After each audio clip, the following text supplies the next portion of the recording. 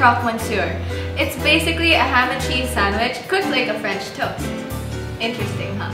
So we'll be needing cooked ham, which we got from our sponsor King's Quality Products, and um, cheese, we use quick melt, and mayonnaise, eggs, milk, bread, we're, we're using wheat bread, and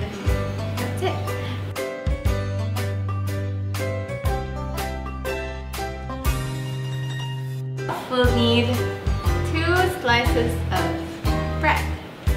Would you like to put on the mayonnaise, Lisa? Yes, I would. Since you're good at spreading. So I'll get a big chunk of mayonnaise and slap it right in the middle. Just keep spreading. That's it. Just like evenly. It's fine. Yeah. Is this okay? Yep. Right. Like get it on both slices? Like how you put your foundation on your face. Next, we're gonna put the cheese. Alright, so how do I put the cheese on? Just put it evenly on all sides. Alright. So what kind of cheese are we using here? We're using quick melt and this is grated.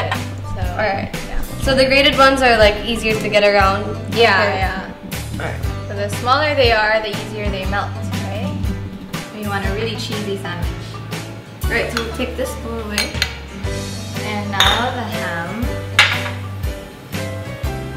ham. I just need one layer. So we cut the ham into quarters. So it's this size. So it would fit the sandwich. And then we cover it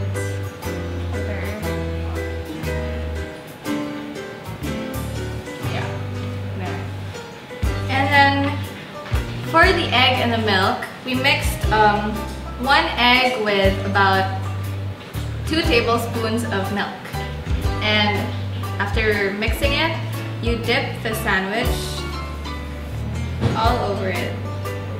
We just dunk the whole sandwich in there. Coat it all over. Yeah. So how much oil do you put? About a tablespoon. Since we're just pan frying it. Oil all over the pan. We're doing a lot of spreading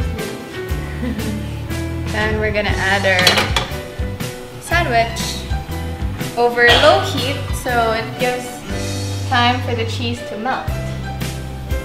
Make it really cheesy and gooey.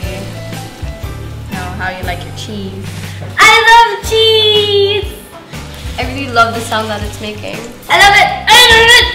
I love it! So you wait for the cheese to melt on each side around five minutes. Pretty much it looks like a French toast, right? Looks like right now and I love the smell, especially the smell. It smells really mm, good. Yeah, you can smell the egg. I know. It would smell even better if we used butter. Alright. So you So- can use butter instead of oil. So is this like the hardest part? Like when you're trying to get all four sides? Not really.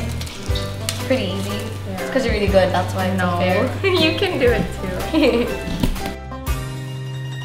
yep, I There you go. Look at that pretty sandwich. That looks really good. The cheese looks really perfect and melted. Thanks to King's Cooked Ham. Thank you, King's So- Cooked Ham. Thank you. We love your cooked ham, even before the show. We're just trying to add a little bit of variety to our sandwiches because some people like them big and some people like them really skinny so they don't fall apart. I like my sandwiches really small because I eat sandwiches every day, but how do you like your sandwiches? I like them big.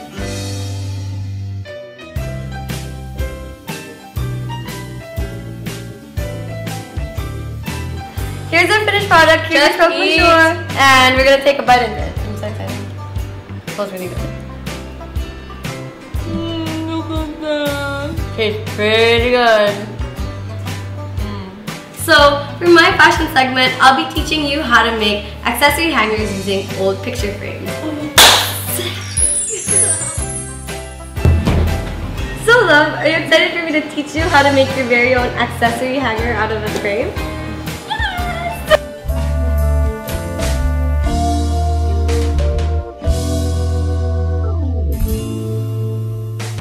So we're gonna start this this project actually involves a lot of painting and a lot of like handyman stuff so we're technically turning into guys tonight Where's our handyman? because we have to screw this thing on this is what you call a brass cup hook so i guess it's called a cup hook because it's I don't know, shaped like a cup or something. A cup. Let's see. Yeah, let's how let's see how good you are at screwing stuff. So you're gonna want to put it in the middle. Oh my gosh, am I doing this right. You have to push it in really hard. Alright, so I can help you with that. Ah! The trick to screwing things, to screwing let's hooks on a piece of plywood is just to initially get it, like push it in, and then once it's like stuck in and you get like a bit, little bit of foundation, then you can start to to turn it. So eventually it'll go deeper, and yeah. Here. So it feels really good once it's in. Yeah. Yeah, it does. Perfect. So, okay. Ah, success.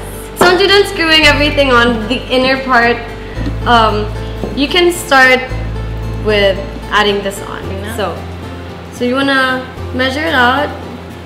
So I got scissors here and tie it on this side. I'm excited. So we'll get this in. I like this. I like this thread. It's braided. So we're making sure that it's tight and in place. And every and once everything is in place, you just snip off all the extra threads that you see. So this I think this is a good length. That's already in pretty tight. So you like how it looks looks like so far? I love it. Alright. So the next part is we're going to add the details onto onto the frame. So what we're going to be using is some glitter. This is fabric pen. So you can use this on your shirts. I use this for a couple of my t-shirts in the past, but you can still use them for frames and other crafts and arts and crafts stuff. And it doesn't matter what color you use because we're gonna be painting over this anyways. So there. We're going for the whole emboss type of decorating.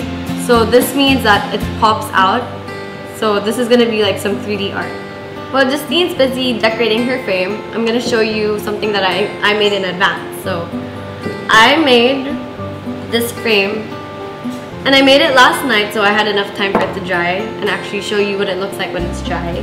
And I had, I went over this twice. So it's thicker and it has more dimension to it. So see, as you can see, I have like the little roses here and this design here. And I have Babe for Food at the bottom because this is going to be Justinne's. Once this is dry, you want to wait around like two to three hours until it's dry. You can actually touch it and feel it. And once it is, then it's time to paint over it. What we're gonna do next is we're gonna start painting since we already got the color that you like. You Are you sure about this color? Yeah. Alright, that's cool.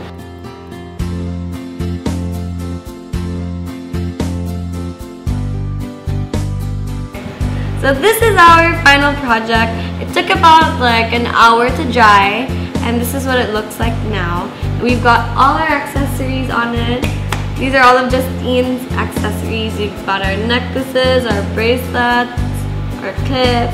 We hope you like this episode and we hope you like this project that we made. Let us know what you think about it. And if you have any suggestions or you would want to see us do something that you've always wanted to try, um, just comment on our video or on our blog post.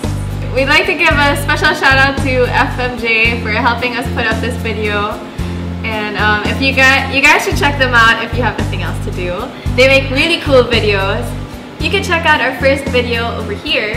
And you can check out FMJ's channel right here. Don't forget to like and subscribe guys. For any comments or suggestions, feel free to leave one in the comment box below. Thanks again for watching the Cooking Fashionistas. Till next time, bye!